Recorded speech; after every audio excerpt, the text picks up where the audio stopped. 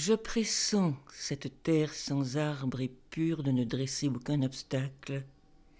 Et les visages eux-mêmes, vidés de tout destin, attendant au coin d'un bois déjà rouge l'illumination tombée des limbes du froid.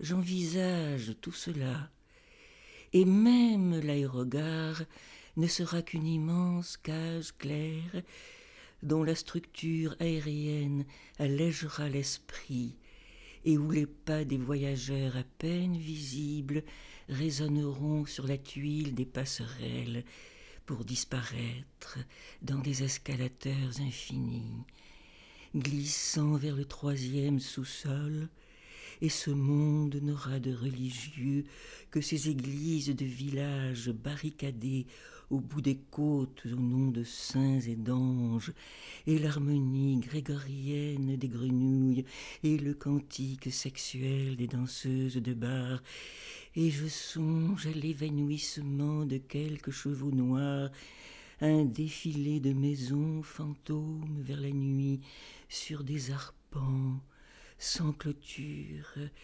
hérissés seulement de buissons fleuris et de vieux pommiers, et dans ce beau triomphe de la raison, des avions cracheront aux deux minutes de longues fumées chaudes, ensorceleuses de grands ciels et nous vivrons dans la belle récitation des arrivées et des départs, dans la grâce des horaires respectés et des contrôles de mouvement, et la beauté sidérante des carlingues et des chromes. Nous y plongerons des yeux de fièvre et frôlerons de nos corps chauds les baies vitrées pour y laisser une empreinte à peine visible de nous-mêmes, la marque d'un doigt ou la buée d'un souffle avant de nous envoler vers des jours meilleurs. Mélèze. L'austérité me surprend au détour de l'automne. Un vent osseux cogne dans les murs de l'âme. Les restes du festin sont devenus de pierre aux tables du réfectoire où la lumière de Dieu tisonnait l'appétit des jeunes filles au bord d'un été qu'elles croyaient sans fin. Au dehors, sous l'agression du froid, je vois les arbres du jardin perdre courage, mais j'entre dans les trains ombragés d'un mélèze et j'apprends à ignorer le temps.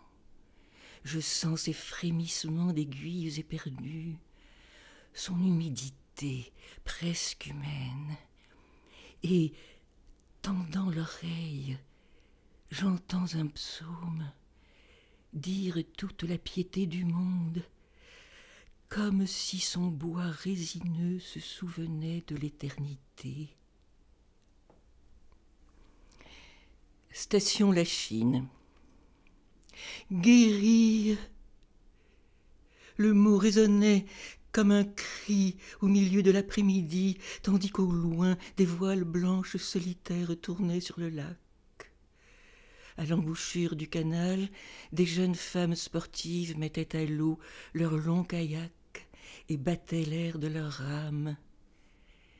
Guérir, disait la voix du temps soigner une blessure ancienne, un mal qui dure et qui s'épuise, une absence de force, une impossibilité du bonheur, une angoisse au ventre, un sommeil surpeuplé, une agression immémoriale.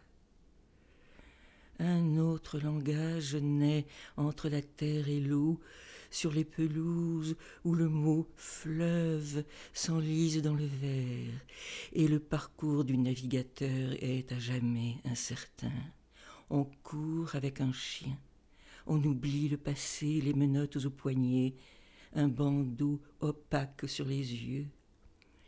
On effleure du visage la tresse ondulante d'un saule, et on trouve d'un seul la saveur de caresses enfouies et d'étreintes impossibles. On cherche l'amour pur de l'espace, une confidence dans le souffle du vent. La morphine du soir d'été envahit les corps jeunes empêtrés dans leurs muscles. Baume des premières étoiles, émulsion d'infini, médecine de Dieu ou du grand vide consolateur, placebo des outardes picorant le verre, ne parle pas, monde, couche tes animaux blessés sur la rive, enterre les derniers cris qui peuplent la frontière du jour. Épiphanie au bord du lac